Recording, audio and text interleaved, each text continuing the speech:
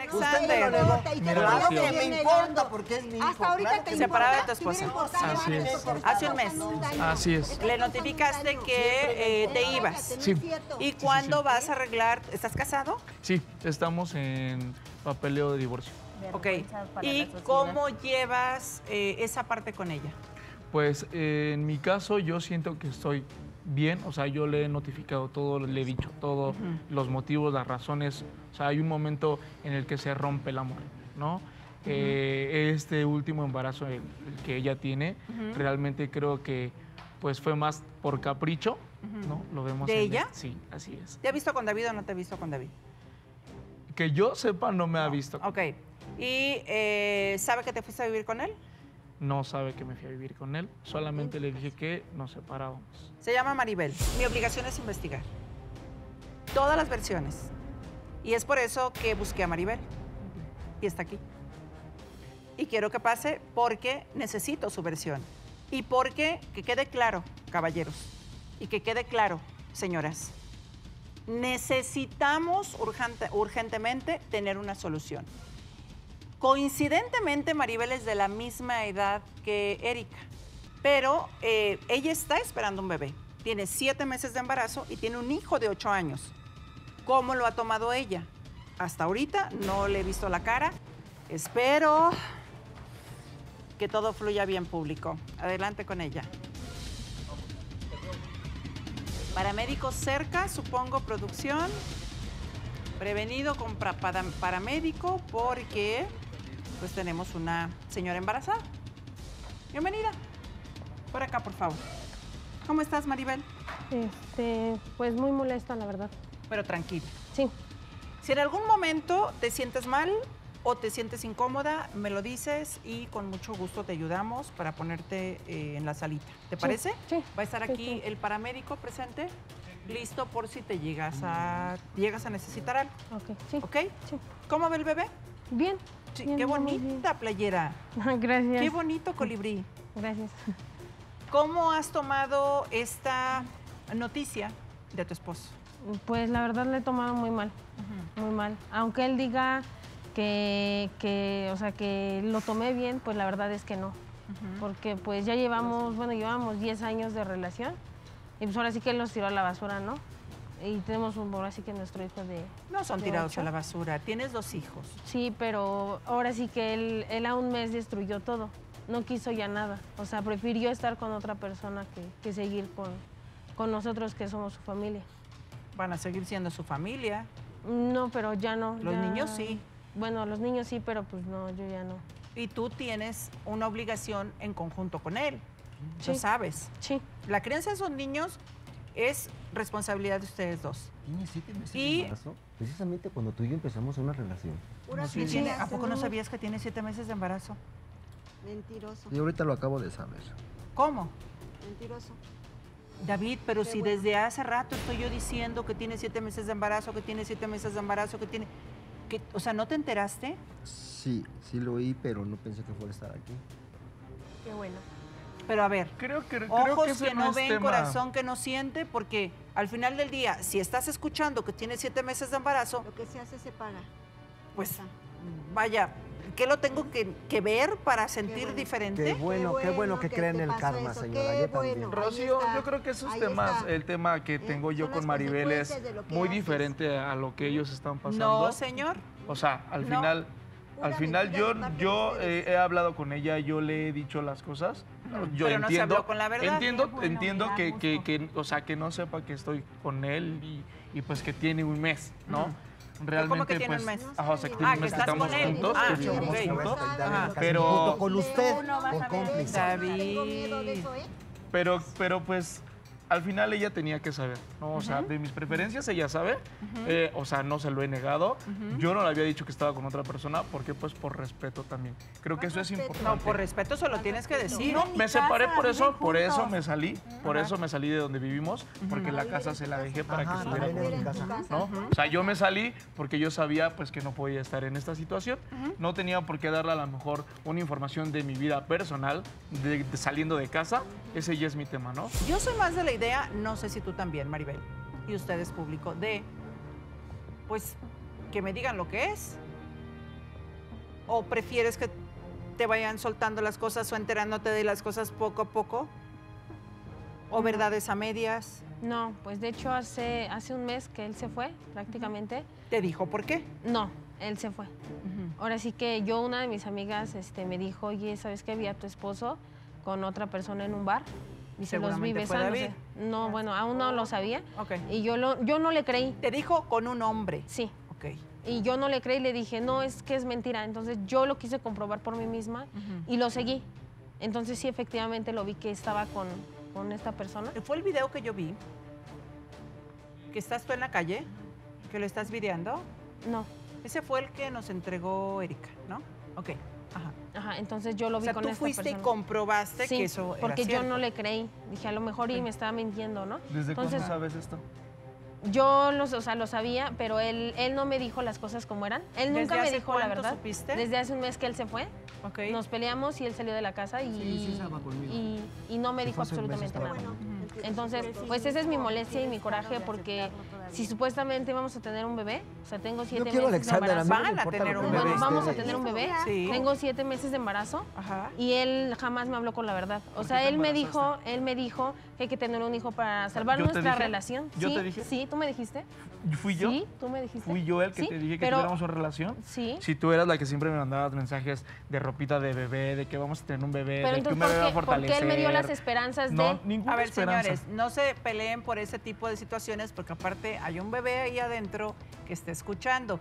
Vamos a ponerlo de esta forma y yo creo que es la más inteligente. Los dos decidieron tener un bebé. Claro. Sí, Y bienvenido bebé, ¿cierto? sí. Y a amarlo como de lo que más desean en la vida y en el mundo, ¿correcto? Sí. Es. Porque está escuchando y está recibiendo información. Sí. Y de ustedes depende si ese bebé crece con afectaciones o crece sanamente. ¿Qué quieren los dos para ese De- bebé? no, de hecho, Rocío, estamos, bueno, estamos, y digo porque pues al final yo estoy pagando estos temas del doctor, de ir a checar y de Claro, todo eso. actuando la maternidad, así es. responsablemente. Y el bebé viene bien, viene Ujú. bien, es niño, viene Ujú. bien y, y todo genial, ¿no? Entonces aquí lo que pues a mí me causa un poco de ruido es que si ya sabía desde hace un mes que me salí, pues no sé por qué se hace la sorprendida. Porque A jamás no. me dijo nada. O sea, yo creía que ¿Tú de su sabías? boca... No, ¿Tú pero a ver, pero si tú ya que yo tenía sabías, es que, es que preferencias? Maribel, tiene razón Alexander, si tú ya sabías de sus preferencias, pues, ¿qué te sorprende? Claro. Y, perdón, David, pero supongo que tú también sabías de sus preferencias, que era bisexual. Sí. Entonces, ¿de qué te sorprendes? Claro. O sea, al pan pan y al vino vino, ¿no? David o sea, sabía que hecho- yo estaba casado y que tenía un hijo y sabía Sí. que estaba con Maribel. Y Maribel al final sabía cuando nos dejamos que yo tenía unas preferencias, ¿no? Y que yo decidí que fue mi decisión terminar esa relación y empezar con los trámites de divorcio. del divorcio. Ella lo Ahora. ¿tú lo quieres? Este, ¿Lo sí. amas? Sí, pero ya no puedo estar con él. Ya no, porque pues ahora sí que él tiene otra pareja. Entonces, la verdad, para mí, a mí ya Pero me da lo- asco la lo in- persona. lo in- Ay, me, da, me da asco porque... Si no es comida echada ¿cómo a perder, No, Maribel, es el ¿cómo padre de tus hijos. Pero ¿cómo estuvo conmigo y estuvo con otra persona? Porque es bisexual. Sí, pero no. O sea, ¿cómo pudo haber estado? O sea, es no, indebido da- porque estaba casado contigo. Sí, es indebido porque cometió una infidelidad. Pero si te refieres, o más o menos, así lo entendí yo. ¿Cómo pudo haber estado con un hombre estando con, con- casado conmigo como mujer? Es lo mismo Pues bueno, porque conmigo, a él, contigo, eh, su preferencia Lo que sí no sexual es esa, es su esencia. está pasando mi Pues mira, Sí, pues mejor hubiera agarrado y hubiera- peleando. El error, el error de él fue no habértelo dicho antes. Eso sí. Pues es Y que tú te hayas tenido, que enterar por otras personas, ¿Quieres criar un sí es muy ¿Quieres cruel, es muy duro, ¿cierto? Sí. Es muy cruda la realidad. Sin embargo, ya está aquí. ¿Qué vas a hacer Pero es la verdad, eso? Rocío. O sea, al final sí entiendo, ella sabía de mis preferencias y a lo mejor yo quise omitir este tema de que, pues, ¿sabes qué? No quiero que sepa que estoy en una relación, ¿no? Pero al final sabía mis preferencias, ¿no? y, y, pues está bien y, y la verdad es que me sorprendió mucho verla aquí, pero al final, pues qué bueno que estás aquí, ¿Ves? pues para que conozcas. Sí, porque mi jamás me relación, dijiste a espérame, dónde te ibas. Tranquila, sí, tranquila, porque no tengo la necesidad. No, porque ni agarraste es- y te No, fuiste. no, no, te Por eso yo fuiste, solamente no me te dijiste dije, dónde te fuiste. Yo solamente te dije, No. yo solamente te dije que me iba a ir de casa y que íbamos a empezar los planes de divorcio. Yo no a Eso se está haciendo. pasen por la situación que está pasando mi Eso, eso, Eso eso, sí, no. se está haciendo, ¿sale? Yo no me voy a hacer, no creas que me voy a ir como el papá de los cigarros, yo voy a ser responsable de los niños como hasta ahora. El motivo del por cual estoy aquí al final es pues para que entiendan que hay temas legales y que se tienen que acatar. También hay Y por eso, señora, a ver, usted debe entender. Eh, Este tema es de ellos, este así. tema es Por eso, de pareja. por eso, y si David también tiene la él- y si él quiere- responsabilidad, quiere criar un hijo, Ella y tú, o él y tú, ¿cuál? cuál Eso es por el cual yo apoyo en este momento a David. Mire, Pues no si sabemos los tú límites, no sabemos criar a un si hijo, ahí ya está están tuyo. escondiendo, Mira, si ya está están secuestrando a un niño, Y tú me ¿cuál das lástima y asco. Esperemos que no lo sigan haciendo porque entonces sí seguirían incurriendo en un delito. No van a incurrir, ya incurrieron, pero seguirían haciendo, haciéndolo. Ahora, Maribel, ¿quieres decir algo respecto a lo que te, te siento como en shock? No, pues es que no, me estoy muy decepcionada de él. O sea, demasiado decepcionada porque, Pero estás de acuerdo en divorciarte. pues sí, o sea, yo no lo quería, pero pues sí, va a tener que ser así porque él jamás me habló con la verdad. Él jamás me dijo las cosas como eran. Entonces, ¿Es para un mí buen eso me duele. Maribel? Pues sí, hasta ahorita se hecho cargo, hemos... ¿Has eh, sido un buen esposo? Sí, hasta, hasta la fecha que me falló, pero no se vale porque no me dijo nada. O sea, él se fue y, y ya. O sea, se fue sin explicarme nada, sin decirme nada. O sea, entonces yo cómo sé que, que él, él quiere seguir viendo al niño. Rocío, A ver, obviamente, él está aquí por eso también. Sí, sí, sí, sí, Es un buen papá, sí. ¿ok? Pero O sea, lo que a mí me que- da coraje es que jamás me dijo nada, se fue. Ok, te lo está diciendo. Y por eso era importante traerte. La, la realidad suele ser muy cruda. Pero vuelvo y repito, soy de las que más vale una colorada que 100 descoloridas. Y a mí sí me gusta saber exactamente dónde estoy parada. Pero ya al final, yo creo que es lo mejor. Entonces, Maribel, con esa tranquilidad e inteligencia con la que estás actuando, te invito a que realmente tomes decisiones inteligentes, que aprendas a comprender y entender y aceptar lo que hasta ahorita ha sido inaceptable o está pasando la información así como ráfaga por tu mente. Piensa en tus hijos. Por supuesto que yo no creo que Alexander, porque ni tiene el tipo ni lo estoy leyendo de esa manera, que vaya a decir, pues que se las arregle sola de hoy en adelante. No lo creo. Creo que es un hombre muy responsable Sí, sí, y que, y que sabe que eres la madre de de- de- de sus hijos y que te va a apoyar el tiempo que te tenga que apoyar según la ley, ¿no? Como, como es. su esposa que Sí. eres, y lleguen a un feliz divorcio. Y cuando digo feliz divorcio público es porque se puede.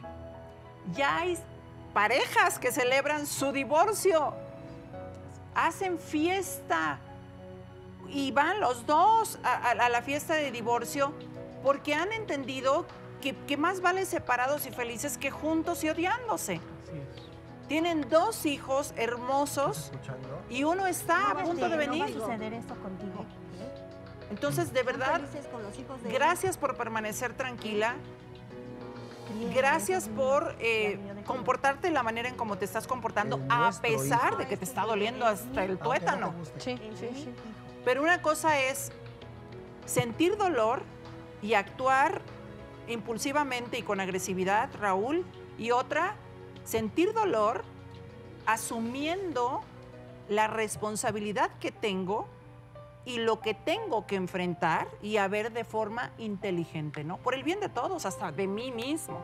Fíjate, Rocío, que muchas de las, de las parejas que llegan a terapia justo llegan para terminar en buenos términos. Claro. No para continuar la relación, Para sino para qué hacer, terminarla. ¿no? Así es. Sí. ¿no? Y nada más como dato, dato que fue tomado hoy de la página del gobierno federal.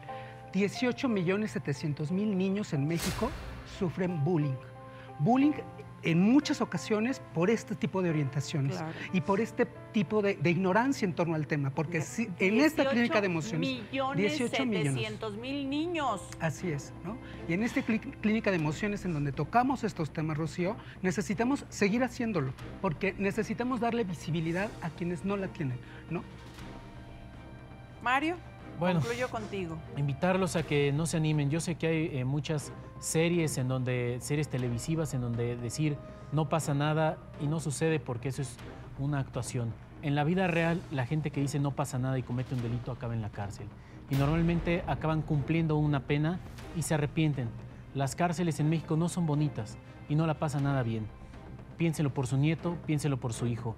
Y si ya tenemos esta situación en donde tenemos la duda y el miedo de que nuestro hijo se va a desaparecer por una persona que lo tiene sustraído, iniciar las acciones legales inmediatas. No creamos que en, el mundo legal las cosas son buenas o son malas, son. Y así se tienen que actuar. Entonces, si en realidad tenemos este miedo y temor fundado de que va a desaparecer nuestro hijo, hacer las acciones legales inmediatas para parar lo que puede sufrir este menor de edad desaparecido y con la situación de que no va a saber quiénes son sus padres en el futuro. Gracias Mario, gracias Raúl. Y bueno, Erika, veniste a este foro pidiendo ayuda. Aquí tienes nuestra ayuda. Como ser humano es mi obligación decirte no lo que quieres escuchar, mi vida, sino lo que debes escuchar, lo que te hace bien, ponerte en la realidad de la situación y no ponerte en una fantasía que no te va a llevar a ningún lado. Y además, reflexiona, quedarte en el pasado no te va a ayudar a avanzar. No busques porqués. Piensa esto, los porqués están llenos de porquerías. Elige mejor el para qué. ¿Para qué me pasó esto? ¿Qué tengo que aprender de esto? ¿Qué tengo que hacer para salir adelante? ¿Qué tengo que hacer para ser más feliz? Para aceptar las cosas que me están sucediendo y salir adelante. Es sorprendente, son como pequeñas llavecitas que van abriendo puertecitas y puertecitas y puertecitas y que conforme se van abriendo vas diciendo, wow, wow, wow, wow, hasta que abre la, la última y dices, gracias Dios mío, no te equivocaste. A pesar de que sufrí, a pesar de que lloré, a pesar de que pasó lo que pasó, tú decidiste que fuera esto para mi bien y para el bien de todos. Venimos a ser felices, Erika. Sé feliz. No te quedes atrapada en una emoción que no te corresponde. ¿Ok? Elige ser feliz. Cuentas con nosotros, en verdad.